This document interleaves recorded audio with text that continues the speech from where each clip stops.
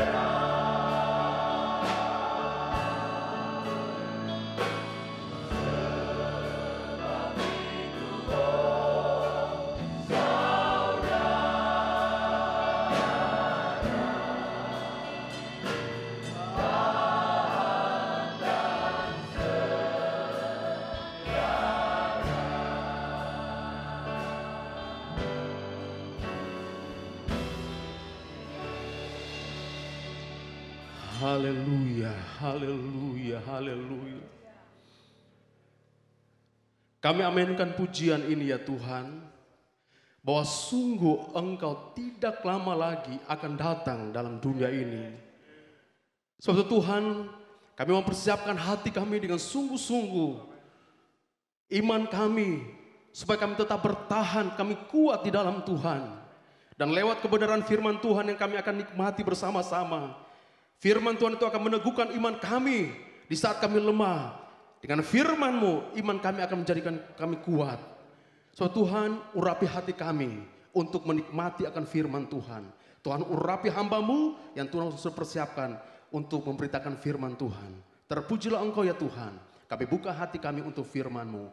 Hanya di dalam nama Tuhan Yesus Kristus. Haleluya.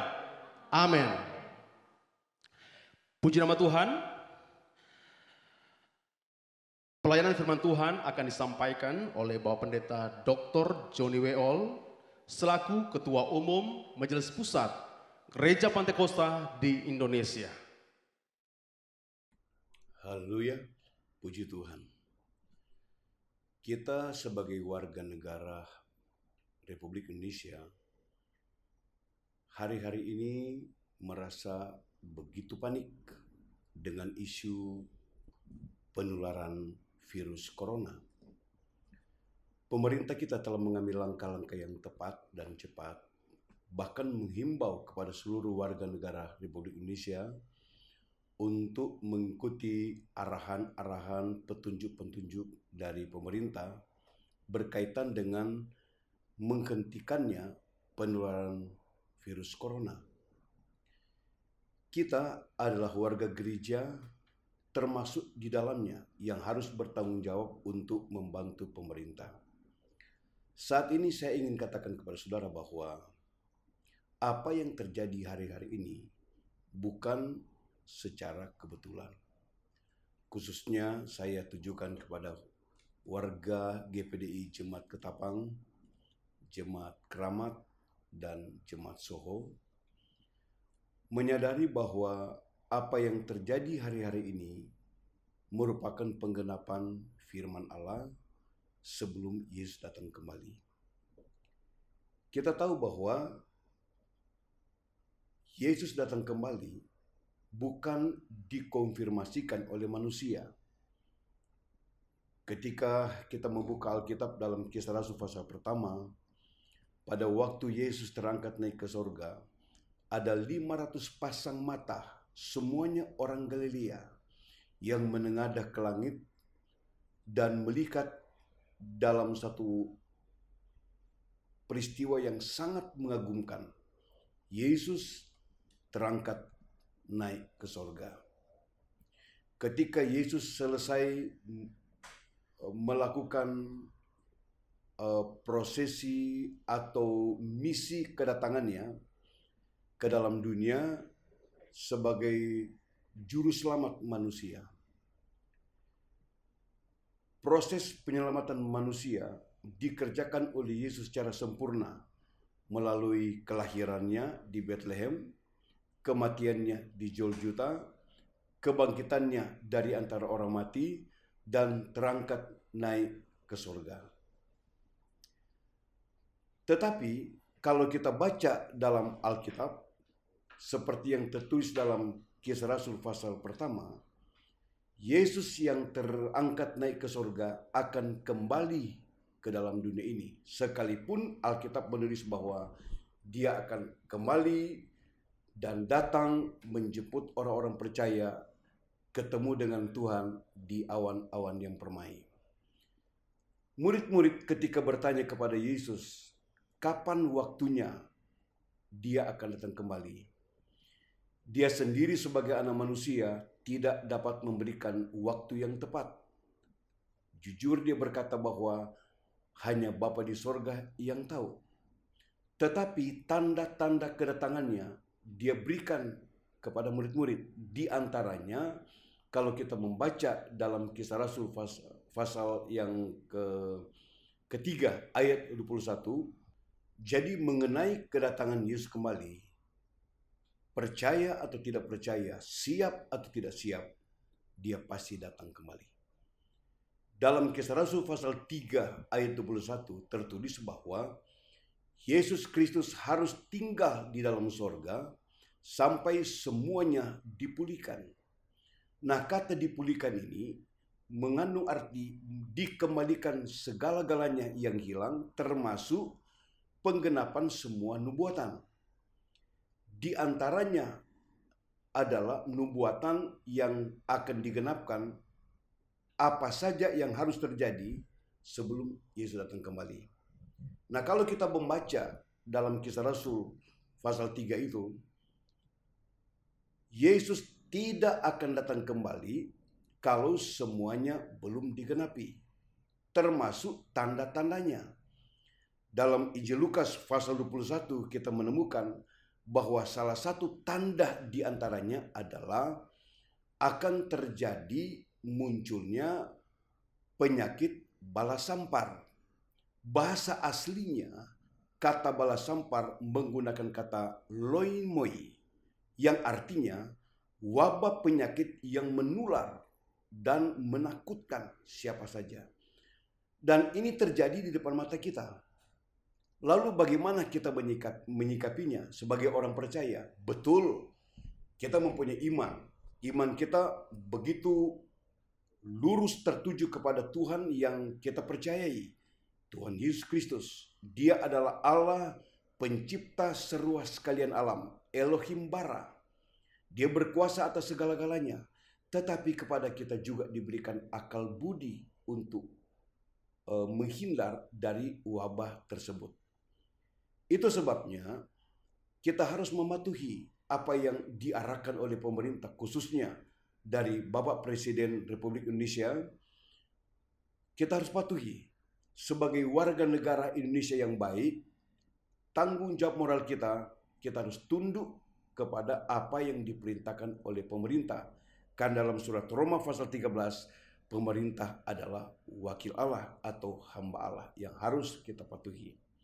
Nah, berkaitan dengan nubuatan Alkitab itu, wabah sampar ini akan terjadi di mana-mana. Ini bagian daripada penggenapan firman Allah. Tetapi kita sebagai orang-orang percaya mempunyai jaminan dalam perlindungan Tuhan. Saya ingin membaca satu ayat dalam Alkitab. Kitab Nabi Hagai, pasal yang kedua, kita temukan ayat itu dalam ayatnya yang ke ketujuh. Bahwa sedikit waktu lagi Allah akan menggoncang langit, bumi, laut, dan darat. Hal ini terjadi di depan mata kita gempa bumi terjadi di mana-mana. Tsunami terjadi di mana-mana. Tetapi yang lebih mengejutkan, ayat itu berkata, Allah akan menggoncang bangsa-bangsa. Awalnya kita berpikir bagaimana caranya Allah akan menggoncang bangsa-bangsa. Peperangan terjadi di mana-mana. Baik perang lokal maupun perang yang bersifat regional. Tetapi bagaimana caranya Allah akan menggoncang bangsa-bangsa? Satu di antaranya yang terjadi sekarang ini. Bukankah lebih dari 100 negara sekarang panik karena hadirnya virus corona? Terjadi kepanikan yang luar biasa. Apakah ini terjadi secara kebetulan? Tidak. Ini harus terjadi sebagai penggenapan firman Allah. Tetapi kita orang-orang percaya harus mengerti bahwa di balik semuanya ini kita mempunyai janji pertolongan dari Tuhan. Saya ingin membaca beberapa ayat dalam kitab Mazmur. Pasal 91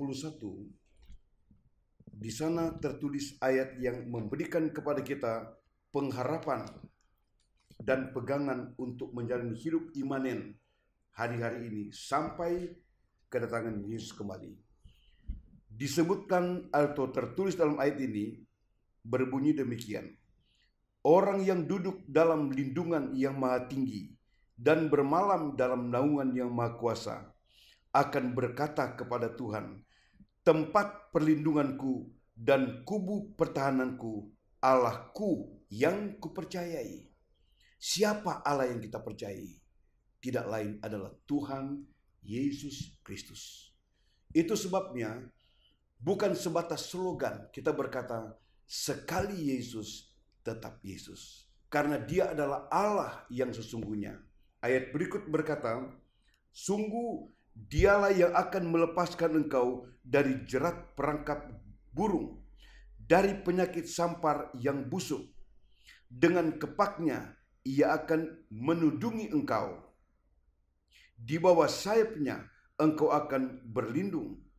Kesetiaannya ialah perisai dan pagar tembok. Engkau tak usah takut terhadap kedahsyatan malam, terhadap panah yang terbang di waktu siang, terhadap penyakit sampar yang berjalan di dalam gelap, terhadap penyakit menular yang mengamuk di waktu petang. Walau seribu orang rebah di sisimu, dan sepuluh ribu di sebelah kananmu, tetapi itu tidak akan menimpamu. Engkau hanya menontonnya dengan uh, matamu sendiri dan melihat pembalasan terhadap orang-orang fasik. Sebab Tuhan ialah tempat perlindunganmu yang maha tinggi telah kau buat tempat perteduhanmu. Dalam kondisi seperti ini, apa yang kita akan andalkan? Ilmu kita, kekuatan kita, kekayaan kita, semua tidak ada artinya ketika kita dihadapkan dengan malapetaka seperti ini. Tempat perlindungan satu-satunya adalah Tuhan Yesus Kristus, Allah kita. Dan dia tidak pernah berubah.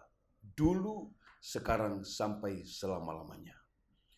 Dengan iman, kita melangkah bersama Tuhan sebagai tempat perlindungan kita tetapi dengan akal sehat kita, kita juga harus patuhi aturan dan arahan dari pemerintah. Terima kasih, Tuhan Yesus memberkati kita semua.